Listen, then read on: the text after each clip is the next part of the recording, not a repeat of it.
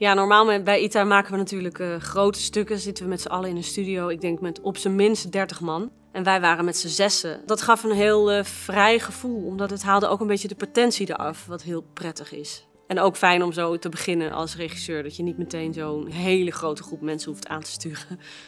Ik had dit het idee, ik, weet je, ik had de muziek verzonnen. En Maria zei wel, ja, ik ga er wel mee aan de haal. Het wordt wel ook mijn voorstelling, dus we moeten dat samen gaan maken. En zij heeft mij vooral heel sterk gekadreerd, heel sterk kader aangegeven waarbinnen ik moet opereren. En juist doordat het zo streng geregisseerd is, heb ik het gevoel dat ik heel veel vrijheid heb binnen die beperking.